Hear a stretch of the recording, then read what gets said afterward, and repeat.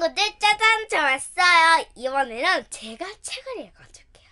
하지만 다른 책 아니고 똑같이 여기 팩. 자 이제 어 저는 회오리 바람에 이 준 선물 근데 있나 모르겠네요. 근데 있었던 것 같아요.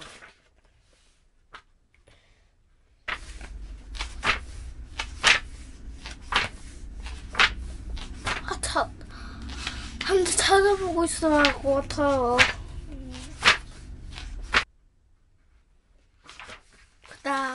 해. 여기 있다. 이제 읽어줄게요.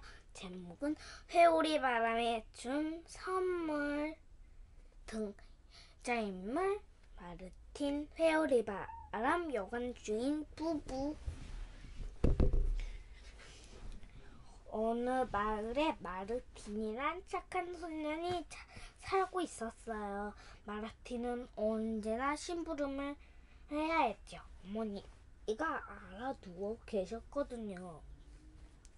하루는 밀가루를 사가지고 돌아오고 있었어요. 근데 그런데 갑자기 회오리 바람이 불어 밀가루 몽땅 날려 버리지 왜요? 아 근데 이 붕 소리는 어 바깥에 소리예요. 난 마르틴은 회오리 바람을 차- 찾아갔어요. 따지듯이. 제 밀가루를 돌려주세요. 그걸로 우리 엄마 저녁을 해드려야 한다고요. 어쩌지 밀가루 대신 이걸 주마. 이 식탁보다 음식이 나오는 그런데 먹고 싶은 음식이 있으면 말해보려. 회오리 바타, 바람은 마르틴에게 음식이 나오는 식탁 식탁보를 주었어요. 그래서 마르틴은 어느 여관에 에서 자게 되었답니다. 아이 배고파 어디 한번 시험해 볼까? 마르틴 식탁보를 펴놓고 말했어. 식탁보야 맛있는 음식을 다오. 그러자 시- 맛있는 음식들이 식탁 가득 차려졌어요. 그런데 그 모습을 여긴 주인 아주머니가 몰래 보고 있었어요. 깜깜한 밤이 되었, 되었어요. 주인 아주머니 살금살금 마르틴, 마르틴 자고 있는 방으로 들어갔어요. 그리고 마르틴의 식탁보를 다른 식탁보와 바꾸어 놓고 나왔지요. 다음날 마르틴이 즐거운 마음으로 집에 돌아왔어요. 자랑하듯이.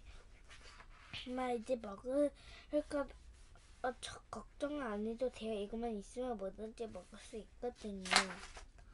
마시, 마르틴은 식탁보를 파- 펼치면서 어, 말했어요.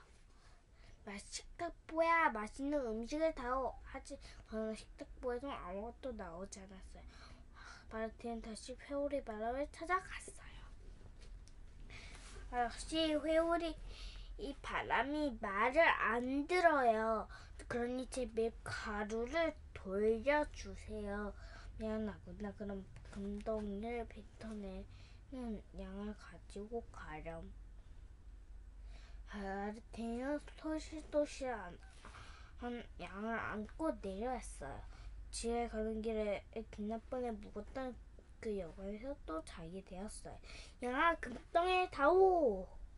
마르틴은 자기 전에 양을 시험해 보기로 했어요. 양아 금덩이를 다오. 그러자 양은 캐캐 금덩이를 뱉어냈어요.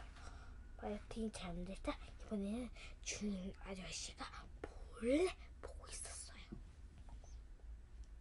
주인 아저씨는 마르틴의 양을 다른 양과 바꾸어놓고 나갔지요. 하지만 마르틴 아무것도 모른 채 집으로 돌아왔어요. 엄마 이제 우리 부자가 될 거예요. 이 양이 금덩이를 뱉어내니까요. 마르틴이 양을 내려놓으며 외쳤어요. 양아 금덩이를 다오. 하지만 양은 들어, 들은 척도 하지 않고 풀만 뜯어 먹었어요. 마르틴 몇 번이나 말했지만 양은 금덩, 금덩이를 뱉을 리가 없었죠. 이번에도 속았어. 마르틴은 단단히 화가 나서 또다시 회오리 마음을 사, 찾아갔어요. 아저씨 양도 말을 듣지. 야네 어서 밀가루 돌려주세요. 정말 이상하구나. 이번에는 지팡이를 한번 가져가 버려 어머나. 이 지팡이는 뭐든 두들겨주는 것이었는데 마르티가 지팡이를 다시 얻어서 다시 내렸어요. 아무래도 그 여관 주인 부부가 수상해. 마르티는 일부러 지난번에 두 번이가 두 번이나 묵었던 여관에 다시 들렀어요. 주 여관 주인 아저씨와 아주머니는 마르틴 지팡이도 가지고 싶었어요.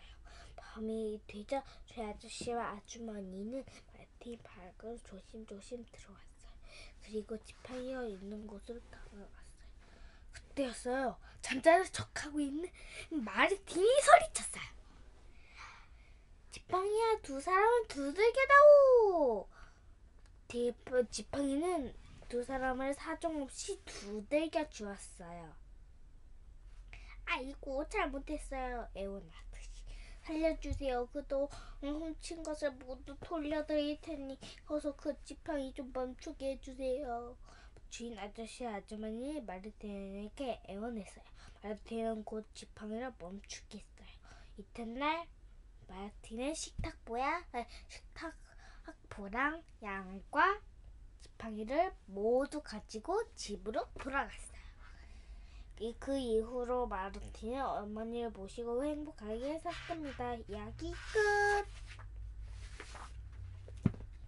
자, 아 이제 다 읽어줬지요? 그럼 다음엔 한번 찾아볼게요. 지금도. 다음에는 돌사자의 웃음을 보여줄게요. 어, 돌사자의 웃음은 48쪽이에요.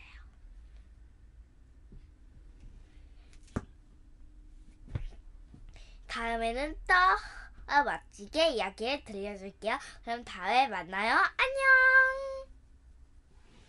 이제 끌게요. 안녕!